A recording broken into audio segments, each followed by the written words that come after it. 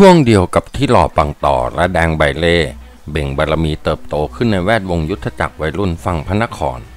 ปุวัดมอนตัวแสบย่านวงเวียนเล็กก็ซาสุดเดชอยู่ทางฝั่งธนบุรี เขากลางมันไปทั่วแทบจะทุกตรอกซอกซอยใครดังขึ้นมาในพื้นที่ไหน ปุ๊มักจะเที่ยวไปลองของวัดชั้นกันให้รู้ว่าหมู่หรือจ่า บางครั้งไปเจอของแข็งขนาดเคี้ยวไม่ลงก็มี คู่ซีที่ติดสอยห้อยตามเป็นปลาท่องโกคือเจดหลังวัง ซึ่งเปรียบเสมือนตัวเบรกอารมณ์ร้อนมุทะลุของปุ๊วัดมอน เพราะตามปกติเจจะสุขุมรอบคอบ เยือกเย็นกว่า มีความคิดอ่านในการวางแผนแหล่งสิงสู่ของปุ๊กับพักพวกจะอยู่ที่ร้านสัมพันธ์ หรือไม่ก็ร้านหมวยจูในละแวกเดียวกัน ย่านเชิงสะพานพุทธแต่ที่ปักหลักนั่งสุ่มกันบ่อยกว่า น่าจะได้แก่ร้านหลัง เนื่องจากหมวยจูเป็นสาวรุ่นเชื้อจีนผิวขาว หน้าตาจิ้มลิ้มสะสวย อกอวบเอวเล็กเอวบาง ขณะที่สะโพกผาดผายงอนช้อยแน่นหนันมองเพลินเจริญตาและว่าจินตนาการไปได้ไกลลิบ สะโพกสาวเจ้าจึงเป็นเสน่ห์ของร้านไปโดยปริยาย ใครต่อใครชอบมานั่งมองกันเป็นประจำค่ำนั้น ร้านหมวยจูก็คึกคักไปด้วยวัยรุ่นจากย่านวงเวียนเล็กเช่นเคย แน่ละหัวโจกย่อมเป็นปูวัดมอนเคียงข้างมาด้วยเจดหลังวัง ที่มาพร้อมกับแมวและหมูน้องชาย ซึ่งคนหลังสุด ปัจจุบันคือ การ์ตูนนิสชื่อดังรุ่นใหญ่ระดับปรมาจารย์ เจ้าของนามปากกาจุกเบี้ยวสกุล ทั้งกลุ่มนั่งล้อมโต๊ะใหญ่กลางร้าน และโดยนิสัยรักทั้งดีและชั่วก็เลยกินเหล้าแกล้มถั่วชุบแป้งทอด หรือที่เรียกง่ายๆว่าถั่วแผ่นเป็นที่คลึกคลืนรื่นเริงเพราะนานๆทีจะมีโอกาสได้ตั้งวงเสพสุรากันสักคน และส่วนใหญ่ หมูซึ่งมีรายได้เป็นกอบเป็นกำจากการเขียนการ์ตูนส่งสำนักพิมพ์หลายแห่งมักจะรับหน้าที่สปอนเซอร์ ควักเงินเลี้ยงเหล้าพวกพ้องอยู่เสมอ ซึ่งสำหรับเขาไม่นับว่าเป็นเรื่องสิ้นเปลืองมากมายอันใด เปล่าหรอก หมูแมวและเจดไม่ใช่ลูกเจ้าสัวมหาเศรษฐีเงินถัง แต่สมัยนั้นแม่โขงราคาขวดละ10 บาท กวางทอง 8 บาท โซดา 60 สตางค์น้ำแข็งยิ่งไม่ต้องพูดถึง เรียกว่าวางเงินลงไปแค่20 บาทก็เมาได้ทั้งโต๊ะ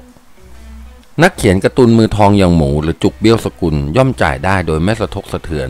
เสพสุราไปพลางพูดคุยสวนเสเฮฮาเล็งแลสะโพกอลาอารามของหมวยจูเป็นอาหารปลาตะโกนหยอกเย้าเจ้าตัวบ้าง พอคลึ้มคลึมได้ที่และสมควรแก่เวลา ซึ่งก็เริ่มจะคล้อยดึก เราเด็กหนุ่มไว้ขนองแห่งย่านวงเวียนเล็กก็ยกขบวนออกจากร้าน จุดหมายต่อไปที่ทุกคนเห็นพ้องต้องกัน โดยไม่มีใครโต้แย้งก็คือ วัดประยูนวงสาวาสเพราะที่นั่นกำลังมีงานประจำปีทั้งกลุ่มเดินล้อบาดวิถีไปกระทั่งถึงบริเวณเชิงสะพานพุทธ สองสาคนในจำนวนนั้นก็ขยับท่าจะก้าวลงถนน เพื่อจะข้ามไปยังฝั่งวัดประยูนที่มองเห็นอยู่ข้างหน้า แต่ปูวัดมอนกลางแขนท้วงไว้ เฮ้ยอย่าเพิ่ง เจดชะงักหันมาขมวดคิ้วทำไม ถนนว่าง ข้ารู้แต่เดินข้ามมันธรรมดาไปทำไมเองจะให้เหาะข้ามหรือไงวะ ไม่แน่จริงต้องคานข้าม หัวโจกตอบหน้าตาเฉย และทั้งที่มันเป็นความคิดเพี้ยนๆซึ่งผู้คนปกติไม่ทำกัน แต่เราวัยรุ่นซ่าตั้งก็เอออห่อหมกเห็นดีเห็นงามไปด้วยทั้งทีม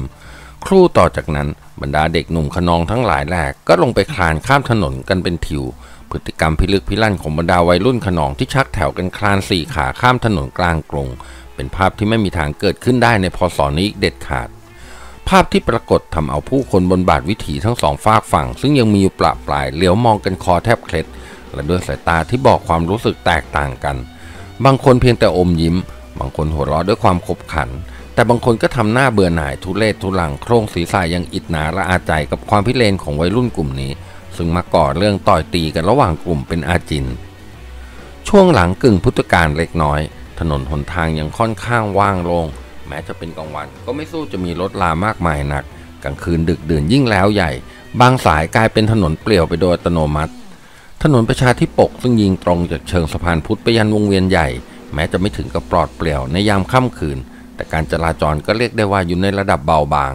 เหล่าเทวริตจอมเพี้ยนจึงคานกระด้วมกระเดี่ยมตามกันข้ามไปอีกฟากฝั่งได้อย่างปลอดภัย หากเป็นสมัยปัจจุบันนั้นคงต้องต่อลงไว้รอสถานเดียว พอคลานพ้นผิวจราจรขึ้นบาดวิถีฝั่งตรงข้าม ทุกคนก็ลุกเดินตีหน้าตายทำไม่รู้ไม่ชี้เรากับว่าไอการข้ามถนนแบบนั้นมันเป็นวิธีปกติธรรมดาเสียเหลือเกิน เพียงครู่ใหญ่ต่อจากนั้น กลุ่มไอรุ่นสุดซ่าก็เข้าไปเป็นส่วนประกอบในงานประจำปี ซึ่งมีการละเล่นหลากหลายมากมาย ทั้งลิเก ดนตรี นางกลางแปลง ชิงช้าสวรรค์ มอเตอร์ไซค์ไต่ถังและอื่น ๆ อีกสารพัดตามแบบฉบับของงานวัดทั่วไป เสียงประกาศผ่านไมโครโฟน โฆษณาอวดสรรพคุณอะไรต่อมีอะไรมากมาย รวมทั้งเชิญชวนชักจูง คนดู ดังแข่งกันอึงคนึงไม่ขาดระยะ ขณะที่ทั่วบริเวณคลาคล่ำไปด้วยชาวบ้านร้านตลาด ที่ต่างก็อุ้มลูกจูงหลาน มาเที่ยวเตะหาความสำราญไปตามเรื่อง บ้างก็จับกลุ่มปักหลักดูการละเล่นที่ตัวเองชื่นชอบ บางส่วนตะเวนดูโน่นนี่เดินสวนไปมาควักไข่หลายหนุ่มในกลุ่มของปูวัดหมอนเล่เข้าหาหนังตู้ ขนาดเท่าเครื่องรับโทรทัศน์ มีกระบอกจ่อตาดูได้ทีละคนแบบถ้ำมอง ตั้งเรียงรายอยู่ข้างเมนเผาศพ แต่จุกเบี้ยวสกุลซึ่งพวกพ้องเอาชื่อพี่ชายมาต่อท้ายเรียกกันว่าหมูเจด พื่อไม่ให้สับสนปนเปกับหมูอื่นๆ ที่มีอีกเป็นโหลๆไม่แยแสหนังตู้ด้วยว่าเคยดูแล้ว แล้วมันไม่โป๊สักทีเขาพระแยกไปหาร้านยิงปืนอัดลมแบบเด็กเล็กที่ใช้จุกไม้ก๊อกเป็นกระสุน ซึ่งอยู่ไม่ไกลกันนัก ไม่ใช่เพราะอะไรหรอก สาวรุ่นสวยจิ้มลิ้มคนหนึ่งกำลังยืนยิงเป้าตุ๊กตุนตุ๊กตารูปสัตว์สารพัดสารพันอยู่ตามลำพังอย่างเพลิดเพลินและนั่นแหละคือสิ่งที่หมูเจดสนใจตามนิสัยขี้หลีซึ่งติดตัวมันตั้งแต่กำเนิด เขากระลิ้มกระเหลี่ยเข้าไปยืนใกล้ๆคนสวย ถือจุกไม้ก๊อกเต็มกำมือใส่กระป๋องนมเปล่าที่ตอกตะปูไว้ตรงหน้าขวาปืนมาสาวคันโยก อัดลมบรรจุกระสุนประทับรอ และพอน้องนางตั้งท่าเล็งตุ๊กตาตัวไหนพ่อยอดชายก็จะยิงมันตัวนั้น เพื่อที่จะหาทางพูดคุยผูกสัมพันธ์ไมตรีหนักเข้าสาวเจ้ากระหันมาค้อนควัก ตวัดเสียงยังไม่สบอารมณ์ อย่ามายุ่งกับฉันได้ไหม จุกเบี้ยวสกุลเลิกขิวทำหน้าซื่อไร้เดียงสา เอ๊ะ ผมไปยุ่งตรงไหน ก็เป้ามีออกตั้งเยอะแยะทำไมต้องมาเจาะจงยิงตัวที่ฉันเลงคุณเลงไว้เหรอ อ๋อ งั้นแสดงว่าใจเราตรงกันนะ ตอนท้ายจอมหลีทอดเสียงนุ่มพลางทำตาซึ้งซะไม่มี แต่ไม่ทันได้วาดลวดลายอะไรมากไปกว่านั้น มือหนึ่งก็เสือกพรวดเข้ามาพักหน้าอกเต็มแรง จุกเบี้ยวสกุลหรือหมูเจดของเพื่อนๆสำลักเสียงคลุกคลักในลำคอฟังไม่ได้สับล่างถวมสันทัดถึงกับเซทลาเปะปะไปตามข้อกั้นด้านหน้าร้านยิงเป้ายังไม่เป็นองค์ พอคืนตัวตั้งหลักได้และชวัดตามอง เขาก็พบว่าเจ้าของมือที่ผักอกเป็นเด็กหนุ่มวัยไล่เลี่ยกัน แต่หุ่นทรงกำยำสูงใหญ่กว่า คนละพิกัดกำลังยืนปักหลักจังกาท่าทางเอาเรื่อง โดยมีสาวจิ้มลิมเบียดกระแสอยู่ข้างหลัง หมอถลึงตาใส่หน้านักเขียนการ์ตูนมือทองพลางแค่นคำรามดุดัน อย่าเสือกมาสี ผู้หญิงคนนี้แฟนเรา จะไปรู้เหรอจอมหลีลอยหน้าเถียง ไม่ได้ติดป้ายแขวนคอไว้นี่ว่า ยังจะปากดีอีกเหรอ ไอ้หนุ่มแฟนสวยแค่นเสียงและขยับจะสืบเท้าเข้าหา พริบตานั้นเสียงดุระด้างแพทย์เกี้ยวขึ้นมาอย่างปัจจุบันทันด่วน หมูถอยไป พร้อมกับคำท้าทาย ร่างหนึ่งโผลพรวดเข้ามาอย่างรวดเร็ว ไม่ใช่ใครที่ไหน เจตหลังวัง ภาพน้องชายร่วมสายโลหิตที่ถูกผลักอกจนกระเด้งกระดอนเซทลาเห็นยุคาตาทำให้ความสุขุมเยือกเย็นอันเป็นคุณสมบัติส่วนตัวละลายหายวับไปทันใด ที่พลานพุ่งลุกโพลงขึ้นมาแทน คือโทสากา ร้อนแรงราวไฟนรก เขาทะยานผ่าจากพักพวกมาโดยที่ส่วนใหญ่ยังไม่รู้เนื้อรู้ตัวเลยว่าเกิดอะไรขึ้น และไม่มีใครตามทัน พอก้าวเข้ามาถึง เจตหลังวังก็กระชากปืนจากมือจอมเจ้าชูน้องชาย หมุนควับไปหาคู่กรณีทันควันปืนยาวที่เงือดเงื้อขึ้นที่สูงฟาดตูมลงโดยไม่เสียเวลาพูดพร่ำทำเพลงพัวเสียงดังสนั่นหู เมื่อส่วนดามเข็นลงบนท่อนแขนซ้ายที่หมอนั่นลนหลานตวัดขึ้นหลับไปตามมีตามเกิด ผู้คนรอบข้างรวมทั้งในบริเวณใกล้เคียงที่เห็นเหตุการณ์แตกฮือ เสียงวิดวายเจียวจ้าวและเสียงเออาตื่นตระหนกดังระเบงเซ็งแซ่ขึ้นเช่นเคย มันคลาเคล้าไปกับเสียงฝีเท้าชาวบ้านประดามี กระเจิงหนีออกห่างที่เกิดเหตุสับสนอลมานก็ถูกลูกหลงมันอร่อยซะเมื่อไหร่ ท่ามกลางความชุลมุนวุ่นวายแทบไม่รู้ใครเป็นใคร ไอ้หนุ่มแฟนสวยพักผู้หญิงเซทลาไปทางหนึ่ง ก่อนชวัดมือขวาคว้าปืนที่วางพิงคอกกั้นเรียงเป็นตับ แต่ก็ได้เท่านั้น มันมีโอกาสเพียงได้คว้าลำกล้อง ด้ามปืนที่เจดเวียงกลับแบบแบ็คแฮนด์ก็ตีวงสวิงวูบเข้าต้นแขนข้างนั้นอย่างจริงจังพัวโอ๊ย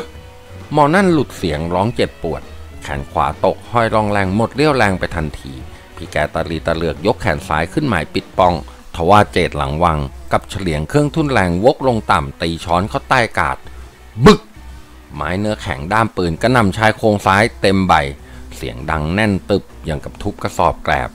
ไอ้หนุ่มแฟนสวยทำตัวโกงลดมือซ้ายลงกลุ่มชายโครงแยกเขี้ยวเบี้ยวปาก หลับตาปีก็ยิ่งเจ็บหนัก ในสถานการณ์อันเล่าร้อนดุเดือดเลือดพ่าน เจตลังวังซึ่งกำลังโกรธเกี้ยวรุนแรงสุดขีดปานพายุป่วนคลั่ง ไม่คำนึงถึงพระธรรมบทข้อใดทั้งสิ้น ที่อยู่ในความคิดก็คือถล่มฝ่ายตรงข้ามให้แหลกยับไปคามือ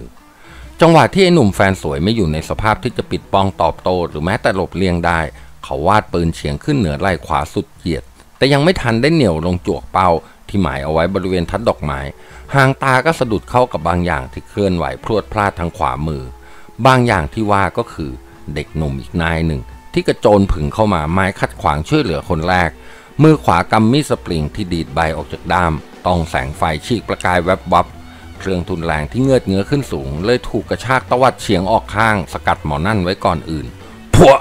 ดามปืนแข็งแกร่ง ตะบันแผงกรามแถบขวาของไอ้รุ่นที่โลดเข้ามาใหม่ เหมาะเจาะยังกับผีจับยัด และหนักหน่วงรุนแรงเหลือลับ เพราะเจ้าประคุณลุนช่องถึงกับหน้าสะบัดคอแทบหักกลางแขนกลางขาล่อนคว้างเหมือนอีแรงลงทุ่งแหวกเข้าไปในกลุ่มไทยมุง ซึ่งรายล้อมสอดรู้สอดเห็นในระยะห่างพอสมควร เจตหลังวังไม่เสียเวลาหันไปดูผลงานไม่ว่ามันจะออกมาในรูปใดน้ำหนักของแรงประทะที่กระเทือนข้อมันบอกให้รู้ชัดอยู่แล้วว่าต่อให้ใหญ่กว่านี้ก็ต้องน็อก แต่แม้จะตียังไม่ยัง้งอาวุธในมือของเขาก็ยังอยู่ในสภาพปกติ ไม่แตกหักบุบสลาย เพราะถึงจะเป็นปืนอัดลมแบบห่วยๆ มันก็ถูกประกอบขึ้นเพื่อให้ทนมือทนตีนมนุษย์ทุกประเภทที่ต้องแวะเวียนเปลี่ยนหน้ามาจับถือเหนี่ยวกระชากแทบทุกวี่ทุกวัน โครงสร้างตลอดจนเนื้อไม้จึงเหนียวแน่นแข็งแรงทนทานพออาศัยหนุ่มเลือดเดือดขบเคี้ยวเคี้ยวกรามสะอึกเข้าหาคนที่บังอาจผักอกน้องชายอีกครา ขานั้นกำลังทำท่าจะผละหนี เนื่องจากรับเข้าเต็มๆหลายดอกและเห็นทีจะต้านไม่ไหว แต่ก็สายไปซะแล้ว ขยับได้แค่ครึ่งกระเบียด เจดก็เหวี่ยงเครื่องทุ่นแรงเข้ากระหน่ำยังไม่ปานีปลาใสพัวพะผ่านท้ายแกล่งกระด้าง ตบอัดบ้องหูข้างซ้ายเต็มเงี้ยงเต็มงา คราวนี้ด้ามปืนหักกระเด็น ส่วนคนถูกตีถึงกับหัวทิ่มหมุนจีเข้าชนกระแทกคอกกันหน้าหลานหญิงเป่าพังราบไปทันตา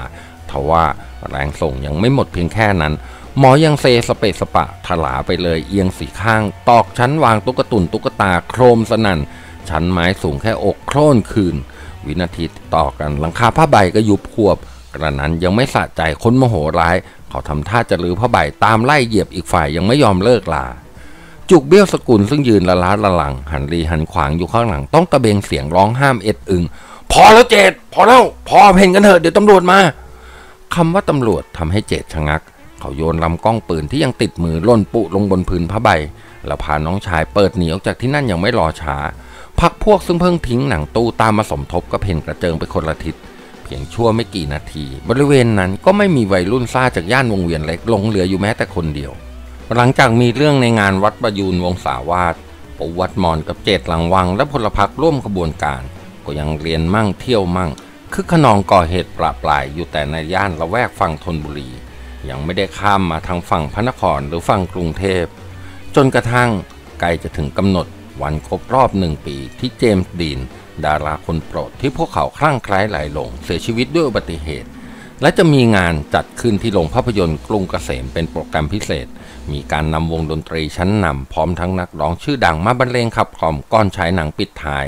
นั่นคือรายการเจมส์ดีนรำลึก ซึ่งแน่ละ งานนี้วัยคะนองทั้งหนุ่มสาวในกรุงเทพและฝั่งธนส่วนใหญ่ย่อมไม่พลาดปุ๊วัดมอญกับเหล่าเทวริตย่านวงเวียนเล็กก็เช่นกัน หลายสิบปีก่อนนั้นหนังรอบพิเศษไม่ได้จัดฉายกันตอนเย็นหรือเที่ยงบ่าย หากแต่เริ่มสตาร์ทกันตั้งแต่6โมงเช้าเลย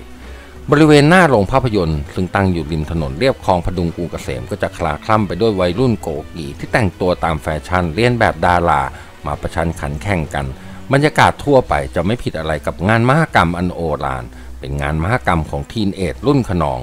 ซึ่งปุวัดมอนและผองเพื่อนหมายตาที่จะเปิดตัวในงานนี้อย่างเต็มที่